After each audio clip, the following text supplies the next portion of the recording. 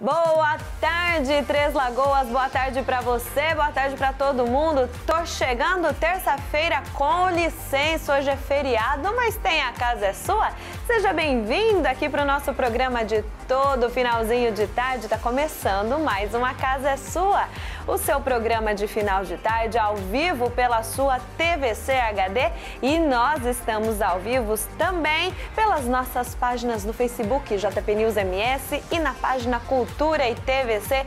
Pode ficar à vontade, pode me fazer companhia por aqui, inclusive nas nossas páginas online, mandando o seu recado aqui nos comentários da nossa live. Hoje é dia 12 de outubro, dia de Nossa Senhora Aparecida, a padroeira do Brasil e Dia das Crianças. Oh, coisa boa passar o feriado na sua companhia. Que delícia! E porque terça-feira é dia do nosso quadro Ter Saúde e hoje a pauta é sobre prevenção ao câncer de mamas com o Outubro Rosa e eu estou temática vestida de rosa nesta terça-feira. Tem também informações sobre acessibilidade tecnológica também. Tudo isso e muito mais no programa Casa é Sua que está só começando. Faça companhia para mim também. No ar, Ter Saúde. A casa é sua. Ter saúde. Cultura e TVC. Estamos em outubro, mês de conscientização à prevenção do câncer de mamas. Você sabia que a campanha Outubro Rosa foi criada nos Estados Unidos em 1990? Pois é, a campanha é um dos projetos de conscientização em saúde mais bem-sucedidos do mundo. E para nossa sorte, o Brasil oferta atendimentos e tratamentos de alta tecnologia e de graça para essas mulheres. Para falar mais sobre esse assunto, é que o Ter Saúde de hoje recebe o médico mastologista Dr. Luiz Otávio Zuca. Boa tarde, doutor. Seja bem-vindo à Casa Sua, agora de cenário novo. Já era hora do senhor vir aqui. Até que enfim a pandemia deixou, né, Tati? É... Sim. Obrigado pelo convite. Mais um outubro aí que a gente inicia. E o que eu falo sempre para as mulheres e para o pessoal que está em casa é que é um mês de conscientização, né? Não é um mês para fazer exames, todos os meses são para fazer exames de mamografia e de toque de mamas mas é um mês que a gente intensifica a conscientização para o diagnóstico precoce e para o rastreamento do câncer de mamas. Como você disse, uma campanha que começou nos Estados Unidos, lá é uma campanha muito forte, que tem maratonas, tem eventos esportivos, né, em alusão ao Outubro Rosa. E no Brasil a gente tem essas campanhas e nós, médicos mastologistas, a gente tem que levar a orientação para as pacientes, para os familiares dos pacientes, para que a gente tenha uma prevenção maior aí dessa doença. Doutor, justamente sobre a doença, como que é a incidência aqui em Três Lagoas? São muitos diagnósticos aqui em nossa cidade entre as moradoras? Sim, Tati, é...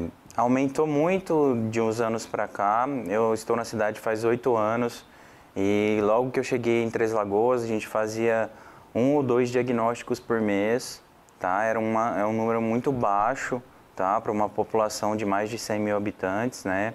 Então, o ideal seria fazer de 6 a 7 diagnósticos por mês e é isso que a gente faz hoje em dia. Então, hoje em dia, a gente já atingiu esse número, às vezes a gente passa um pouco desse número por conta da população da região. E o que, que mais alarma nós médicos é que não é só mulheres com mais de 40 anos que está tendo a incidência dessa doença. Então, com menos de 40 anos, a gente tem um número de até 10% de mulheres com câncer de mamas. Tá? E isso é muito, não só no, no, aqui em Três Lagoas, não no, só no nosso município, mas no Brasil todo. A gente tem visto isso e as mulheres precisam se tocar, se cuidar, porque as mulheres com menos de 40 anos não façam os, os exames de mamografia, né? elas não fazem, mas elas precisam se tocar. Então, aqui em Três Lagoas, a gente atingiu um nível que a gente considera um nível bom de diagnósticos, mas ainda a gente tem é, diagnósticos tardios, pacientes com uns tumores um pouco avançados, muito por, pelas pacientes não fazerem os exames de rotina, mamografia, por exemplo. E, inclusive, a mamografia, nesse ano de pandemia, 2020 principalmente, 2021 começou a melhorar a procura, mas ainda assim, doutor, as mulheres estão indo fazer a mamografia ou ainda estão afastadas das unidades de saúde? Isso, é o que a gente viu no ano passado, né, por conta da pandemia, é que 50% das mulheres que deveriam fazer a mamografia não fizeram. E hoje a gente está vendo o reflexo disso daí. As mulheres que não fizeram, a gente está tendo alguns casos mais avançados de câncer de mamas pelo fato das mulheres terem deixado de fazer o exame de prevenção. Por isso que é importante fazer o exame. Não é que a mulher não vai ter a doença, mas ela pode descobrir a doença num estágio que a gente pode ter quase 95% de chance de cura. Então, diminuiu bastante o ano passado por conta da pandemia. É, talvez é, foi uma coisa obscura para nós, né, médicos, a população ficou com medo, não queria sair de casa, e isso fez com que as mulheres se afastassem também dos médicos para fazer os exames de prevenção. Então, acho que isso afetou muito. Hoje está voltando ao normal, graças a Deus, essas mulheres estão voltando. Eu falo que nesse mês de outubro que começou a melhorar a pandemia e que a gente estava é, fazendo a conscientização, deu um boom de pacientes na, na clínica da mulher, na oncologia. Isso é muito bom assim para a população em geral. E a mamografia ficou um tempo, né, suspensa, justamente em virtude da pandemia. É um tipo de exame, doutor, que o SUS oferece aqui em Três Lagoas de graça. Essas mulheres não precisam gastar para fazer a mamografia. Isso, é. As mulheres que não têm convênio, né, ou que não têm condições de fazer particular, elas podem fazer pelo SUS.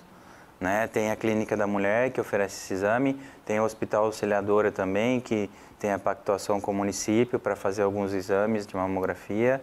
Então, essas mulheres não estão descobertas de fazer esse exame. Elas podem solicitar na, na unidade básica de saúde, não precisa ser só o médico mastologista ou ginecologista.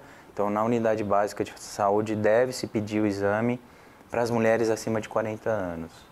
E via de regra é rápido, doutor? Quando elas pedem, já rapidamente consegue o agendamento ou é moroso demais? Hoje em dia melhorou bastante, Tati. Melhorou bastante. É a demanda era muito grande, que o aparelho estava com defeito, ficou um tempo com defeito, mas hoje em dia é, a gente tem conseguido fazer os exames rápidos.